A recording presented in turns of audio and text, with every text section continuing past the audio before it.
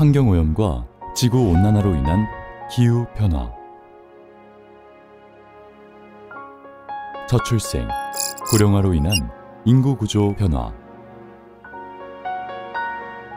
인공지능과 4차 산업혁명으로 인한 일자리 변화. 이처럼 4차 산업혁명과 저출생, 고령화,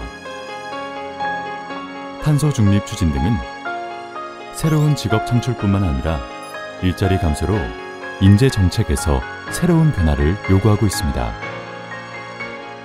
우리가 직면할 미래 사회는 그 어느 때보다 빠른 변화를 일으키고 있으며 일자리 양극화를 통해 불평등을 초래하고 있습니다. 인류가 한 번도 가보지 않은 길 위에서 모두가 위기라 말할 때 기회를 창출하고 지속 가능한 발전을 위한 새로운 해답. 우리는 지금 어디에서 찾아야 할까요? 역경과 위기를 극복한 역사를 가진 대한민국은 언제나 사람이 희망이었고 미래였습니다. 세계 유례 없는 대한민국의 성장의 원동력은 사람을 중심으로 한 교육 투자였습니다.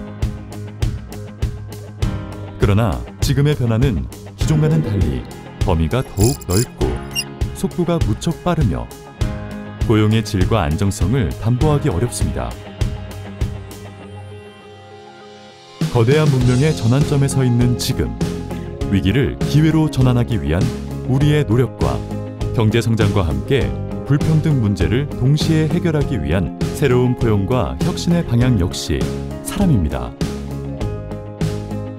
국민 모두가 안정된 삶을 영위하기 위해서는 전환의 파도를 안정적이고 유연하게 넘을 수 있도록 새로운 인재 전략을 설계하고 추진해야 합니다. 미래사회 트렌드에 대비하고 혁신 성장을 이루기 위해서는 사람에 대한 투자 확대로 제도약을 이루어야 합니다. 그래서 우리는 또다시 사람과 교육에서부터 시작합니다. 사람과 교육에 투자합니다. 국민 개개인이 변화에 빠르게 대처하고 적응할 수 있도록 능력 개발에 집중하고 있습니다. 역동적 경제와 행복한 사회를 만드는 직업능력개발 연구기관 한국직업능력연구원은 1997년에 설립된 국무총리사나 정부 출연 연구기관입니다. 한국직업능력연구원은 국민의 평생직업 능력 개발과 일터학습을 지원합니다. 혁신 성장과 더불어 좋은 일자리 관련 연구에 기관 역량을 집중하고 있습니다. 경제 사회적 환경 변화에 발맞춰 모두가 내일의 인재가 될 수 있도록.